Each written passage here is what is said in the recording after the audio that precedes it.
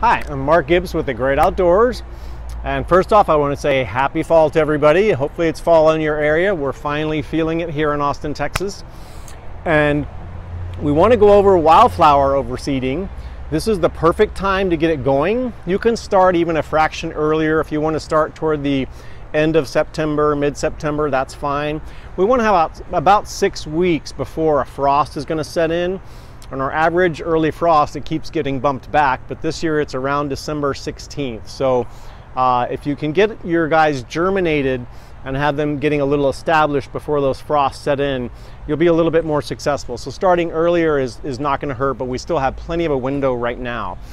Um, the cool thing with wildflowers, they've come a long way. Used to be you could only put them in sun areas. They really do need full sun. And if you've also noticed when you're out there driving around, a lot of times the slopes look better than the flatlands in, in many cases. Part of that is drainage. So you want to take that clue from Mother Nature. If you've got some areas that are going to be holding too much moisture or too damp, you need to go ahead and get some aeration there or do something to improve the runoff. Uh, because the, the seedlings during frost and freeze time just won't make it through if they're too wet and they get that damage. So do consider that. And then there is a great little blend out there that you can do for shady areas. So I want to point that out for folks who don't have an option. Um, the big thing is you need soil exposure and we're going to take a look in a minute on this shade friendly package and be showing you you need to get at least an inch of depth prepared uh, and by that you know you don't necessarily need to till you just need a good metal rake with some deep tongs on it and I'll show you we want to try to rake in two patterns so we get some sort of furrows going on so that seed will land somewhere and bind up and it won't just be sitting on that surface and wash away very easy. But there is a shade blend for folks who are captured in the shade. The other fun thing you can do with wildflowers, or you can do them in containers. You just have to be ready again uh, because that root system on those plants would be exposed to frost situations so if we're gonna have a duration freeze, which is, you know, under 32 for a long, long spell, week or so, then you wanna protect that root system also, not just the plant, since that root system is gonna be exposed. If you have a larger container, it's gonna take a lot longer for that soil surface to freeze, but you wanna boost them a little bit there and try to keep, be sensitive to that root system not being deep enough at, at, at, at such a young age. You can get bluebonnets in starts. Um, something I like to show folks on the packaging here. Um, usually there's a recipe on all the bags. It's going to tell you what's in the blend specifically. And uh, the native, native wild seed, the wild seed from uh, Wild Seed Farms, they'll give you sort of percentages on how much is in the package percentage wise. On smaller packaging that's a mixed blend, if you start at the top of the recipe and work your way down, uh, the first plant, there's going to be more seeds of that. And then as you go further down the list, fewer in the batch, fewer in the batch, fewer in the batch. Like reading a recipe on a can of something at the store. Um, so just be aware when you're looking at different blends, you may see that starting palette uh, may change up a little bit depending on what you're looking for. You may want to look for that at the beginning, or if it doesn't matter and it's somewhere in the blend and you're happy, that's fine. The other thing with wildflowers are that once you get germination and your bouquet starts in the spring, another great thing you can do with Mother Nature is take the clue from Mother Nature and take some pictures of your entire cycle while it's blooming all through the spring and into the summer. Then you'll be able to isolate in those pictures, you'll be able to learn some of the names of those flowers if you don't already know them, and use those pictures to sort of focus in on maybe what the happiest bouquets were in your area. That's Mother Nature again, kind of giving you a little bit of a handhold to say these guys are really happy here. If you didn't have success with some of the other parts of the recipe, then you can focus in on our single packs and go back with the single pack of whatever varieties did best. So you're really creating a heavier bouquet of the plants that are happier in your area. So we do have the single packs. If you want to go with a monochromatic look, you can get these single packs and just do one stand of crazy, crazy awesome color in a wildflower and have a beautiful blanket. The other trick with wildflowers are that uh, a, a very large palette of them are perennial. So you're not just gonna have that plant giving you seeds for another generation, but that plant's gonna live from generation to generation. Coneflower, for instance, is a biennial, so mama lives two years, but she's gonna have seeds, she's gonna produce a few pups. When she goes away, her seeds and her pups will be the, the next two year cycles for you. So on some of these guys, you're not just gonna get that bouquet one time, you're gonna have that mama seeding for many, many years. Uh, the skeleton leaf, uh, the black-eyed Susans, which come in a lot of different flavors, um, and then the coreopsis. There are certain coreopsis that will go perennial here. So um, once you see these plants and you start recognizing that leaf, you'll also know when it comes time to mow uh, areas you may want to avoid because you don't want to chop down those perennials or areas where you need to raise your blades so you still have some foliage left but you are dispersing the seed when you go to, to mow. And that's the other you know important thing I'm going to tuck in here at the end. You've got to really, it's not the prettiest um, exposure when you've got all those dried flowers out there. But just remember the payoff you had while they were in flower. So let those seed heads go fully dry and let that seed disperse. Um, it's really cool on bluebonnets. If you've ever tried to get a bluebonnet, one of the little uh, pods, uh, they'll begin to twist and they'll get to a certain point in their twist where they'll literally just explode. And that seed can disperse, you know, three feet, four feet. It flies really far from mama. So it's kind of fun when you go out there and you collect them because you can literally use them like little grenades on each other uh, to spread your seed. It's really neat when you get them at that mature of a peak.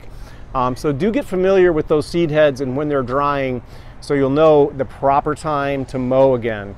Um, it's a patience thing because people tend to want to get out there too early and then you actually lose some of your population. And then the other thing with mowing are again, if you've got some of these perennials out there, you want to you want to be tender on that mowing. You don't want to be scalping. You don't want to be taking it back to just dirt.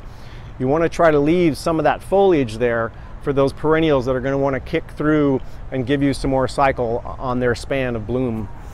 So we're going to head over to the shade area in a minute. Oh, I forgot to mention the pigeonberry. That's in a couple of the, the packets here on the mixed blends. This is a great, great little uh, perennial ground cover. Uh, I've seen them actually make little miniature bushes when they haven't frozen in further south parts of, uh, of Texas. Uh, but it's a beautiful foliar color, great flower cycle, and then a gorgeous color to the berry when those guys set. So sometimes you're not just getting flower, but you're getting the, the hips or what it produces before it goes to seed. So definitely take a look at some of these varieties. If you want to start with mature plants or plants that are already rooted, that's a fine situation as well.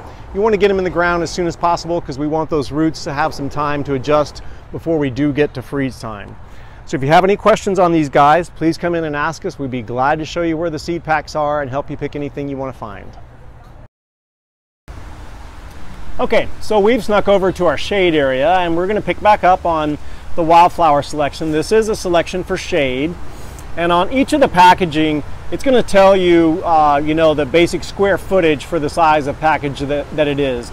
And they give you a very wide range. This one, the range is 500 to 700 square feet for how much is in the package. I just tell people, they always ask, why is there such a variation? Well, it really just depends on how dense you want it to be when it comes up. So a recommendation we suggest is if you want it to be fairly sparse, so you get as much seed out over a broad, broad area, go ahead and add some sand to the, the blend. That's going to give you some weight when you're dispersing it and you won't just go a couple of feet and all of a sudden be out of seed. Uh, it's about the equal amount of sand to the size of package that you have. Should give you enough balance to get your square footage covered without being too, too sparse. So when you see a wide range in this, it just means some people have a very small area. It's going to be really, really dense. The thing you have to watch out there is that when it comes to water and sunlight, uh, you may be watering surprisingly later on in the spring uh, because there's so much competition. And same thing with bouquet. Uh, the bouquets may struggle a fraction uh, because they're competing for the light and for the water. So just you know try to try to disperse them as, as broadly as possible uh, just for the results that you're going to get. Um, so on this blend, uh, about one gram is going to do this little baby area right here. And as you can see, I'm just going to use this hand tool. That's plenty of depth right there, okay? The seeds don't need to be covered uh, completely. Uh, you know, a lot of times, again, we end up burying the seeds too deep and they'll actually rot before they get a chance to germinate. So uh, the main thing here is I do want to make sure that it's, it's loose at least this far down. And I mentioned earlier in the previous segment, we want to try to turn over the soil, the soil in two directions so that we know we've broken up some of the clods. And then we know we've got some furrows where these teeth have grabbed down there so that when that seed starts to settle, it'll have a little bit of a wedge to catch it. So I've got that nice and fluffed up down to that one inch. And again, I'm just going to come through here lightly, give myself some small furrows.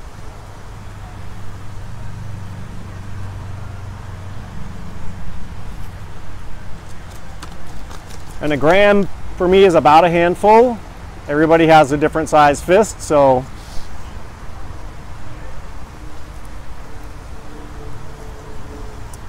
The other thing too is when you scatter the seed, as you saw, I went back and forth this way, and then I'm gonna come back and forth this way. That way, again, we're not getting this banding that you'll see if you're going out and broadcasting. That's why the sand also helps.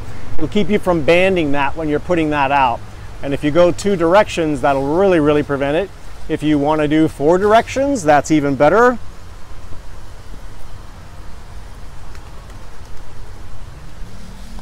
And I'm going to do a fraction a little bit more to finish off this top side.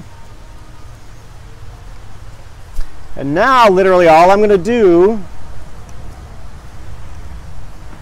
is just turn it back over with that seed in there. Just a fraction. Just scraping that surface. As you can see, this is not perfectly clean. It's not all nice and pretty. It doesn't have to be. This is what would happen in Mother Nature. And then I'm going to give this a, a, light, light watering. I'm not going to come in here and flood this. We've had so much rain that we don't need to, but we just want that new turned over soil and that seed to sort of sit down and hold hands together, give it a chance to bind up while it's germinating. But now we know we've got a good inch, a nice inch, if not two inches, of depth. So when that seed germinates, that root has somewhere to go. It's really important that that has a home to get to, and the earlier it can get there, the better off it's going to be when it freezes. You don't have to mulch when you get these guys out. Uh, it's better again if there's uh, just natural debris that's going to build up, that's fine. Uh, but think about those roadsides. They're not doing a lot of maintenance out there. They're getting that seed turned over, they're getting the soil exposed, the seed in, and then going with Mother Nature watering it from then on. So use that sand in there to disperse it if you're doing larger areas. Look for those blends that are going to be, you know, maybe recommended for your area. We do have a Texas blend, we have a Texas Oklahoma blend, we have the confetti blend, they just expand, and then we have all the single packs. And please, if you have any questions, just let us know. The other beautiful thing about most of these wildflowers is they make great cut bouquets. So please, enjoy going out there with the kids, finding some great bouquets, putting them together, and be hands-on with learning those names, learning where they did good, and then seeing what the payoff is the next time they come back around. If you have any questions, please let us know. We'd be glad to help.